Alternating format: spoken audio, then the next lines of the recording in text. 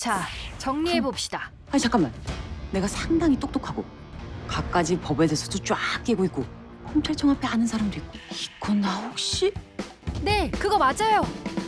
검사 사칭하고 다닌 거 아니야? 거의 다 와서 제 발로 뻥 차버린 기억. 여보. 당신 혼란스러운 그녀 곁에 오늘 밤엔 웬일로 찾아오신 남편. 어머, 징그럽게 왜 이래? 당신이 유민의 새 주인이 됐는데 내가 축하한단 말도 못했지? 진심으로 축하해. 근데 여보 어. 나가. 어? 아 나가라고. 어. 쉬어. 전에는 거들떠보지도 않더니 대기업 총수가 되자 펼쳐지는 남편의 선택적인 다정함을 뒤로하고 연주의 출근 첫날 어느 정도 예상은 했지만 새로운 회장님을 맡는 의전의 스케일이 좀 빵빵했습니다. 아 왜 이래요 부담스럽게? 예우죠.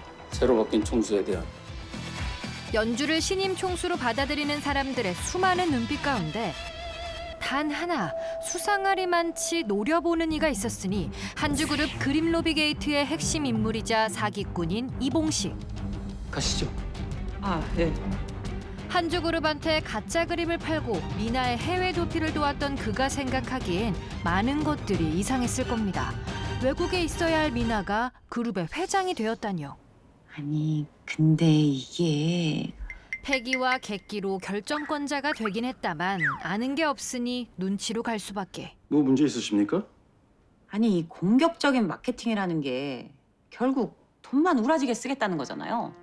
원뿔원 주고 쿠폰 뿌리고 대리점한테 우리 거 팔아주면 마진 더 주겠다고 리베이트하고. 그것도 영업의 한 방식이니까요. 그니까 그 방식이 지금 싫다는 건데 신사업인데 꼼수부터 쓸 생각하지 말고 마케팅 비용 줄여서 제품 개발에 투자하세요. 경영의 원칙을 준수하는 회장님. 블루투스 이어폰?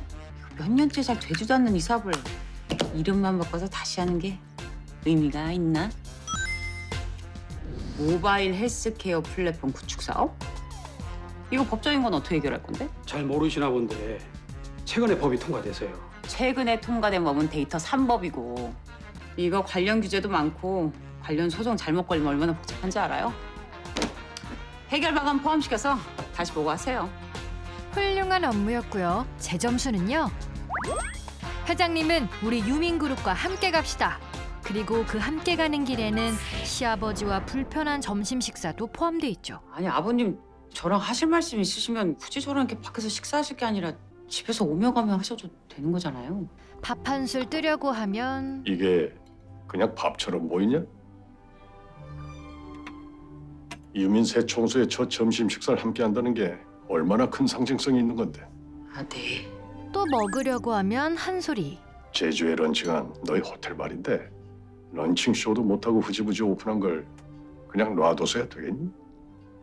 런칭 날 비행기 사고로 일가족 사망 이거 호텔은 아주 재수없는 이미지다 기왕 그렇게 된 거 우리 쪽도 호텔 사업이 있으니까 합병을 해서 새롭게 시작하면 어떻겠니? 며느리 밥도 못 먹게 하고 하신다는 말씀이 유민그룹의 호텔을 호로록 드시겠다는 거죠? 아버님 포스가 정말 대박이시네요. 아니 말씀하신 동안 숟가락 들 틈이 없네요. 뭐? 근데요 유민 새 총수하고의 첫 점심 식사 자리에서 유민 일가족 사망을 그냥 재수 없는 사고 정도로 말씀하시면서 어떻게 합병을 하시겠다는 거예요? 그런 심보로 남의 호텔 날로 먹으려고 하지 마세요. 시아버지에게 밥 대신에 욕과 사이다를 배부르게 대접해드리고 건물 밖으로 나가는 연주와 아침부터 지켜보고 있는 이봉식.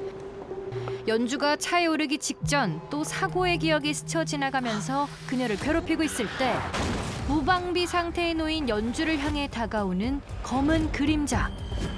그리고 주머니 속에 감춰두었던 무언가를 꺼내는데요. 승욱이 제압한 괴한의 정체는 이봉식이 아니라 중년의 한 남성. 당신 누구야? 저 이상한 사람 아닙니다. 회장님 좀 만나고 싶어서.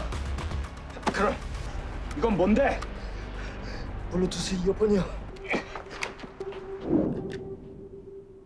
블루투스 이어폰? 아침에 갑자기 통보 받았습니다. 더 이상 사업 진행 안 하기로 했으니까 납품하기로 했던 거 다 취소하라고. 이미 만들어 놓은 거 다 폐기해야 될 처지라서 이렇게 찾아왔습니다. 그렇다고 이렇게 무작정 들이닥칩니까? 차근차근 절차를 밟아서 올라와. 절차를 밟기 시작하면 계약이 해지되겠죠. 사장님, 제가 나중에 꼭 따로 찾아뵙겠습니다. 감사합니다. 강한 자에겐 맞서고 약한 자는 보듬어주는 그녀의 부드러운 카리스마를 뒤에서 지켜보던 이봉식은 확신했을까요? 저 사람은 본인이 알던 미나가 아니라고요. 괜찮습니까? 괜찮아요. 그런데요. 이런 일이 계속 벌어지는 걸 보니까 드는 생각인데 강민아한테 그 교통사고가 처음이었을까요? 아니 만약 그런 일을 계속 당했다면 강민아 스스로 꽁꽁 숨어버린 건 아닐까요? 이게 무슨 소리야? 이 동굴 목소리는 아버님! 귀 한 번 밝으신 시아버지의 등장. 얼버무리기엔 처음부터 끝까지 다 들으셨습니다. 숨어? 누가? 어디로? 침착하자. 평생 말빨로 먹고 살아온 인생. 사실 아버님, 오늘 하루 저에게 아주 많은 일들이 있었답니다. 제가 냉철하게 반려시킨 결제 서류에 불만을 가진 협력업체 사장이 글쎄 존재는 저를 습격하지 않았겠어요? 그래서 제가 머리를 다친 이후로 예전에 강민아와 달리 너무 냉철하게 일만 하는 게 아닌가 하는 마음에 내 안에 꽁꽁 숨어버린 착한 강민아를 찾아야 되지 않겠니? 라고 걱정이 되어서 하신 그런 말씀이셨답니다. 쉼표 없이 쏘아댄 변명에 모든 사람이 단번에 납득. 좋아. 자연스러웠어. 주가 또 떨어지겠네. 새 회장 또라이란 소문나서. 아 좀 진짜 겁 좀 주지 마요. 씨. 아니. 그쪽은 미나랑 달라요. 뭐요? 뭐 뭐 또 무슨 얘기 하려고 또? 미나보다 멋있어요. 의외로 칭찬에 약한 스타일. 고래도 춤추게 한다는 칭찬에 심장이 요동치기 시작했고 다정하게 돌아본 그 모습을 보자 앞면에 샤랄라 불어오는 봄바람. 언제까지나 봄날일 순 없었습니다. 그 마약 검사 확실히 다시 확인했다고 했지. 네, 분명히 아무것도 검출된 게 없다고 했습니다.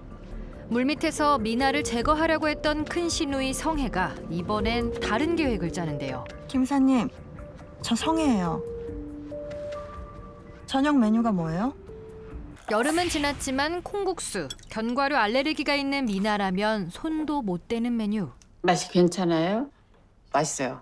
역시 김사님 최고. 먹고 물에 담가만 놔요. 맛있게 한 그릇 뚝딱 비우고 자기 방으로 돌아갔을 때 뒤늦게 아차 싶었습니다. 잠깐만. 정신 차려. 이걸 먹으면 어떡해? 혹시 미나가 아니라는 게 들통나기 전에 승욱한테 도움을 요청하는데요. 여보세요? 나요. 혹시 강민아 견과류 알레르기 같은 거 있었어요? 맞아요. 근데 김 이사님이 콩국수를 줬어요. 그걸 모를 리가 없는 사람이. 내일은 콩국수 때문에 아프다고 하세요. 배만 끊습니다. 네. 해결책이 간단해서 좋긴 하다만 아까는 스윗해놓고 이렇게 차갑게 구는 거 있기 없기? 그쪽은 미나랑 달라요. 미나보다 멋있어요. 네, 좀 뭘 떠올리는 거야. 씨. 아, 안 돼. 차라리 멋있어 보이는 건 쌍싸드고 정도로 정신이 드는데 짠해 보이는 건 게임 끝난 거잖아. 승욱에 대한 감정을 밀어내다가 맞이한 다음 날 아침. 아이고, 아이고, 아이고.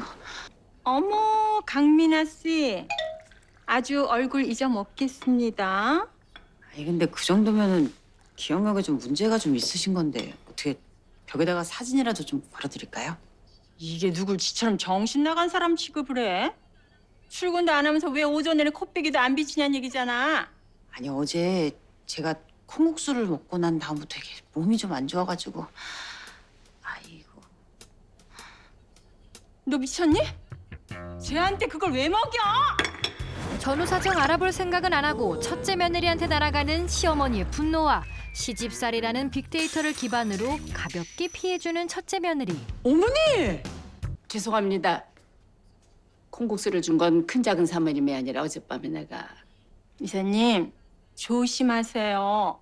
네. 작은 작은 사모님은 오늘 하루 종일 굶는 게 좋으실 것 같습니다. 계획엔 없었던 단식을 하게 된 연주와 어제 파놓은 선생님. 함정의 결과를 알고 싶은 성혜. 작은 홀케는 어때요? 견과류는 빼고 100% 콩으로 만들었습니다. 그런데 작은 작은 사모님은 콩국수를 먹어서 몸이 아프다 그랬단 말이지. 참 이상하죠? 이 모든 건 하나의 연극이라고 의심을 넘어서 확신을 하게 된 성혜와 조력자인 승욱의 집으로 간 연주. 아니 무슨 국가 기밀도 아니고 생일을 그렇게 감춰요? 생일엔 파티지. 일로 와요. 승욱의 생일을 빌미로 벌이는 고기 파티. 고기는 언제나 옳고 생일의 미역국은 당연지사. 누가 끓인 거예요? 누구 인도야? 나지. 너무 맛있네. 내가 이렇게 손맛이 좋은 사람인데 그 집에서 하나 안 먹힌 내가 얼마나 억울해요. 그녀의 손맛이 불을 뿜고 있었지만 시댁 식구들은 뿔이 나고 있었죠. 이게 뭔데? 와, 작은 어깨질하시네? 걔가 제대로 미쳤어. 유부녀가 혼자 사는 사촌 아주버니랑 얼마나 붙어 다녔으면 그런 더러운 찌라시가 돌아. 야, 얼른 임신시켜 둘을 안 치고 그 핑계로 네가 대리 경영해. 그래. 어떻게 할 거야? 언제까지 임신할 거야? 그것도 일처럼 하니까 다 망하는 거니? 아, 엄마 그게 마음대로 돼요. 야, 알았어요. 귀가 중인 찌라시의 주인공. 아우, 이러고 집에 어떻게 들어가냐고요. 자연 바람으로 좀 빼고 들어가야지. 하여튼 오바는. 아, 그러니까 그걸 꼭 여기서 이렇게 빼야 되냐 그 말입니다. 아이씨, 누가 같이 빼재요? 자기가 굳이 따라놓고선. 아니, 그리고 차 지나가면 뭐 이렇게 보호한답시고 허리 확 잡아당기고 이런 거 하지 마요. 나는 보통 여자들처럼 그런 데서 심쿵하고 이런 게 아니고 그냥 바로 빗당겨치기로 확 대다 꽂을 거니까. 말 떨어지기가 무섭게 지나가는 오토바이와 훅 튀어나온 승욱의 매너.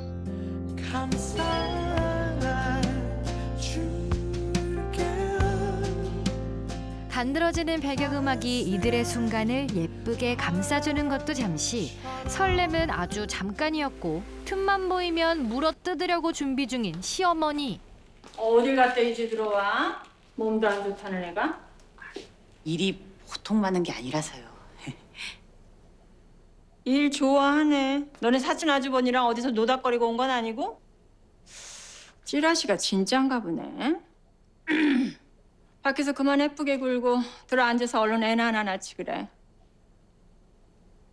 요즘은 왜? 주제에 피임하니? 아, 나. 아니 무슨 아들 사생활을 그렇게 창피한 줄도 모르고 며느리한테 대놓고 물어봐요? 무슨 돼지 젖 붙이나? 치명타 적중 돼지 저? 야, 우리 같은 집은 그게 사생활이 아니야. 우리 같은 집이 뭔데요? 뭐 조선시대 왕 정도 돼요? 왕? 조선시대 태어났으면 그냥 돈 많은 중인이죠. 중인 나부랭이. 아주 그냥 다 같이 모여서 아들 성생활에 대해서 작당망이 안 하신 게 다행이네요. 예? 아들 성생활에 관심이 무척 많으신 가족들의 존재감과 모두가 보는 앞에서 시험에 들게 하는 큰 시누이 오냐오냐 했더니 선을 지나치게 넘네. 아무리 좋게 생각해 주려고 해도 사람이 너무 변한 거 아니야? 어, 그거. 올케가 평소에 가지고 다니던 태블릿 PC. 그거 한번 열어봐. 이거요? 예전엔 그걸로 올케가 SNS에 우리 식구들 돌려가는 걸 쓰고 그랬었잖아. 요즘엔 안 그러나 궁금해서 그래. 보자. 지문으로 잠금 해제할 수 있는 미나의 태블릿 PC 열어. 지금 이 자리에서. 그동안 큰 시누이가 파놓은 마약 함정도 콩국수도 운 좋게 피해갔었지만 사람의 지문이 똑같을 확률은 870억 분의 1. 미나의 지문으로만 열렸던 판도라의 상자가 연주의 엄지 손가락이 닿는 순간 열렸습니다.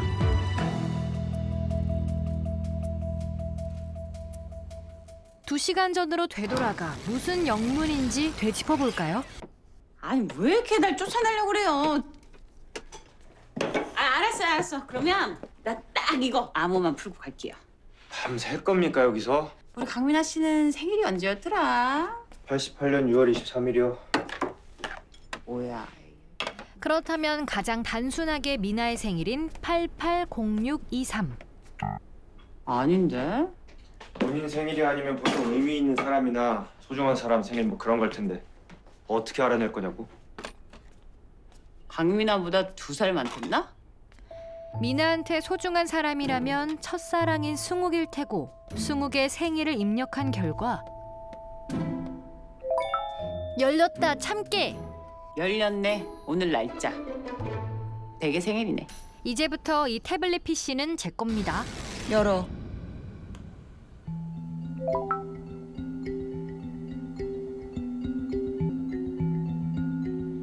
뭐가 그렇게 궁금하신 건데요? 큰 신우이가 파놓은 함정에 또다시 탈출 성공. 생체 정보까지 미나와 똑같다는 걸 만인이 보는 앞에서 인증했지만 과거 미나와 관계 있었던 그림 로비 사건에선 벗어날 수가 없었습니다.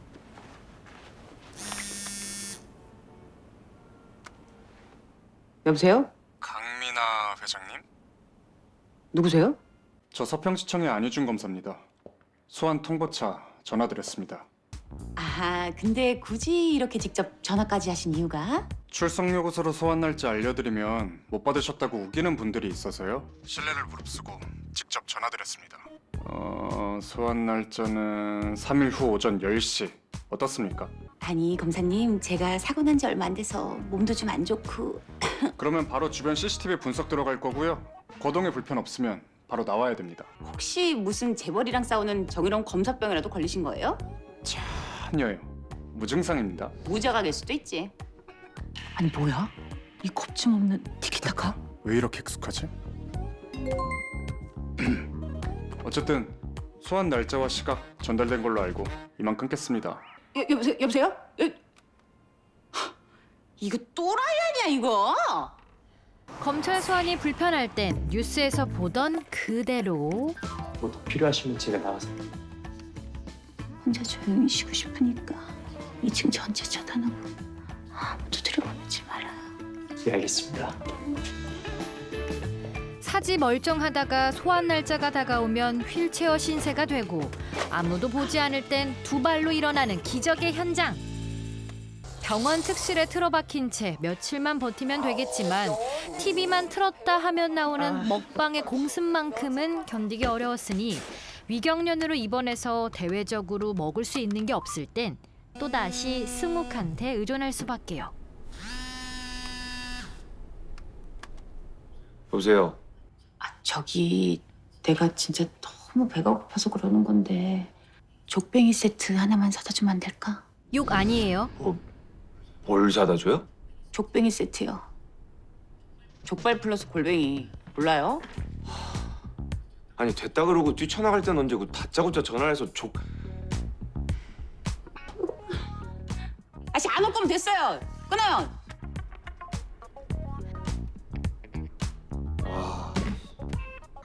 남자 사람 친구와 썸남의 차이는 썸남은 부르면 언제나 달려온다는 것.